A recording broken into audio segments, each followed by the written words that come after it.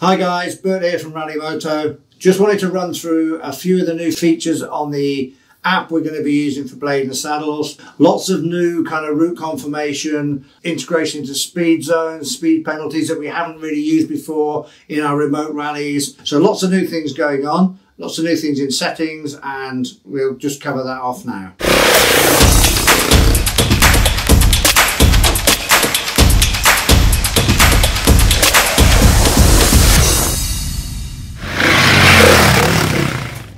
For blazing saddles this year, we have a, a there's a lot of new features in the app itself, which we'll run through in a minute. But there's also a new method of marking. The app is going to be waypoint driven. You have to hit all the waypoints to score your route completion. We're going to run through that in a minute, but a waypoint penalty is three points, and built within the app as well is speed penalties, and they're 15 points every time you ping, and that's all controlled by the app you will get your marks given to you at the end of the route on the screen and then you submit them to us at Rally HQ. So the first thing for Blazing Saddles is it's a different scoring system.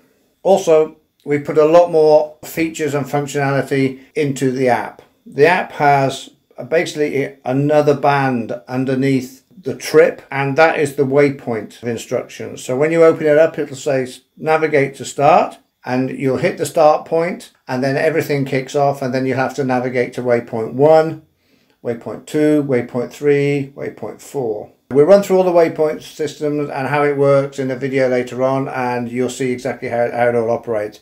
But also we've listened to your feedback and we've done some major changes and some major updates to the app.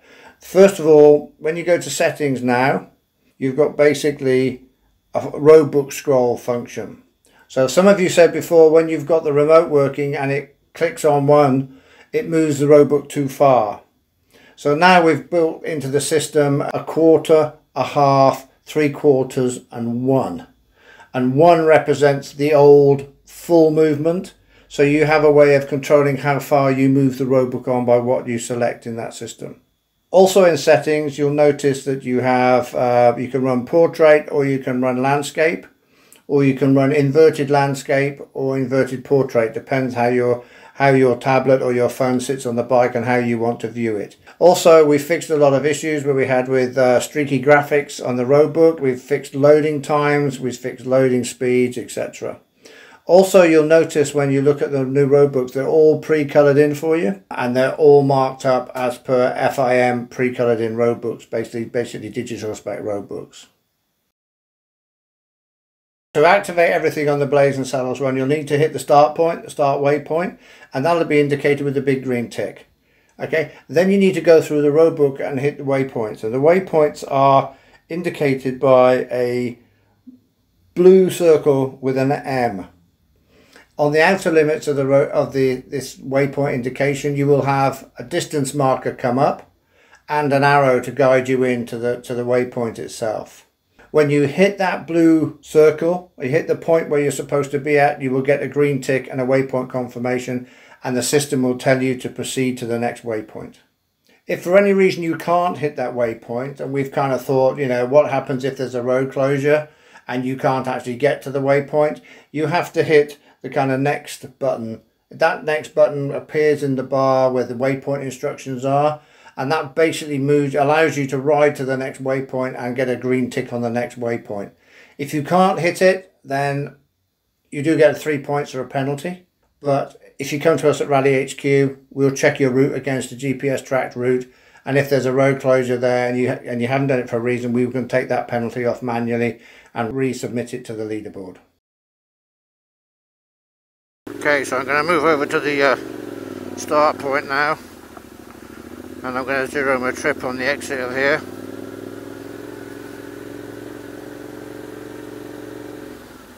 We're at the Cotswold Motor Hub.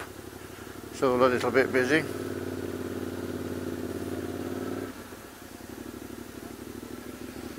Okay so our test route starts here.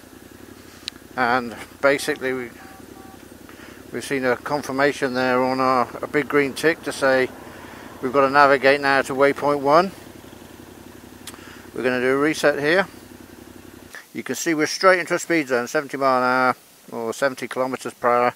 we're on really small back roads, but every stage of the road book will have a speed zone attached to it now, so you have to be very careful. We will change speed zones, and the new Blazing Saddles route will actually be uh, marked on speed zones. The system you can see has got an extra bar in it here, and it says navigate to waypoint and uh, waypoint 1, so I now need to head off to waypoint 1, head off to the first point down the road. Uh, uh so let's rock and roll.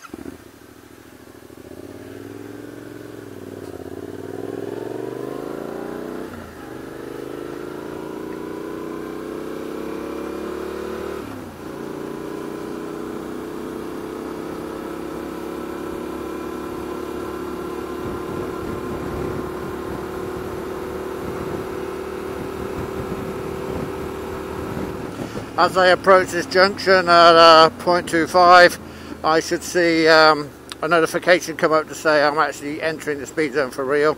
So hopefully we'll see that. There you go at the bottom of the screen. We've got enter it for real and navigate to waypoint 1. So we're going to carry on. Uh, we're going to check our mileage against that at that point and we'll catch you in a minute. So we see at 427 we're going to take a right turn followed by a immediate, almost immediate left turn. You see the M here on the road book, that's denoting a marked waypoint. So this that is actually a waypoint 1. So waypoints are marked with a blue circle with an M in the middle. So we'll watch what happens as we go and we approach that. This will change as we, we kind of get closer to the waypoint. Like in desert racing, you have an outer circle on a waypoint and an inner circle. And when we activate the outer circle, it'll give us the arrow to take us in and show us the mileage or show us the distance we've got to go to get to the waypoint. The arrow will actually show us the direction as well to a certain extent so we just watch and that, learn about that process as we go through.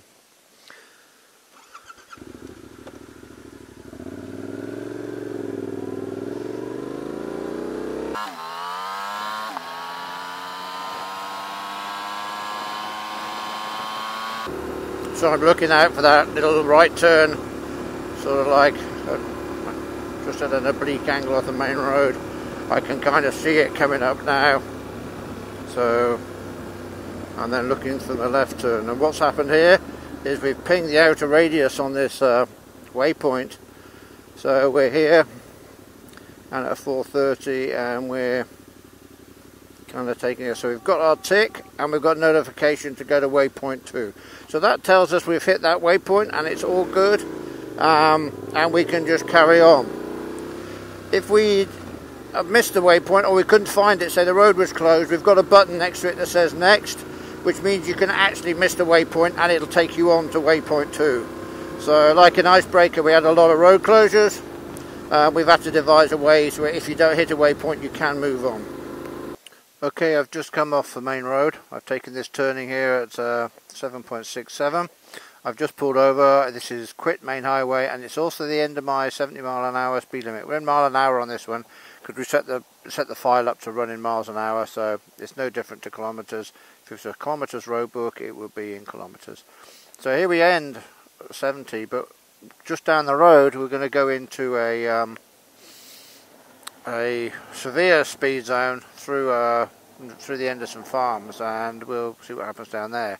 We're still on our way to waypoint 2 so all we have to do is follow the road book through. Okay, so we're going to head on down to uh, our little speed zone.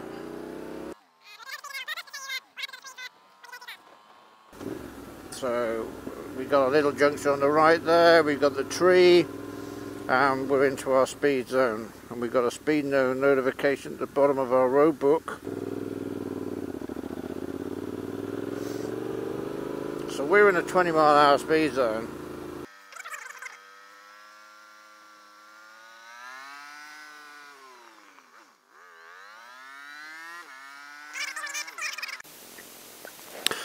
Okay then I'm heading into uh, 12.7 can see I've already pinged the outer radius on the waypoint which is down here um, so basically I'm going to go through a crossroads and I'm going to go through a hard right turn and then I'm going to pick up the waypoint and then immediately afterwards I've got a right a left hand turn to carry on with the route okay so I can see the uh, crossroads just ahead of me.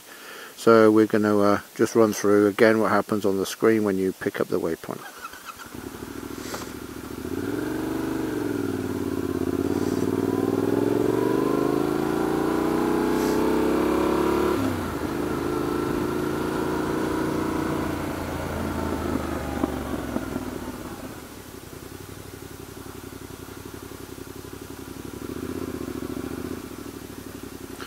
Okay, got a tick, navigate to waypoint 3, so we're on our way again.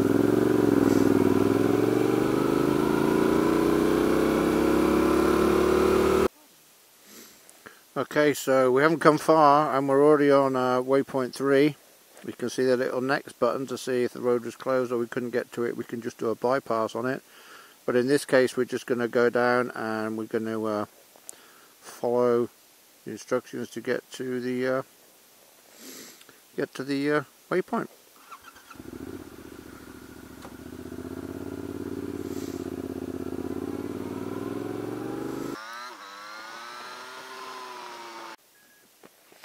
Okay, we're nearly at the end of the road book. We had to do a reset. We had to go and find a waypoint that's a little bit off the beaten path. The box here is indicating that this is our last, this is the end of the road book basically, or the finish point and then we're going to turn left and head down to Dunkerton's and do a review. When we hit the finish point though, you will see a set a summary results coming up. So we're going to go and hit that waypoint, the final checkered flag, and see what the results look like. Okay, so let's roll.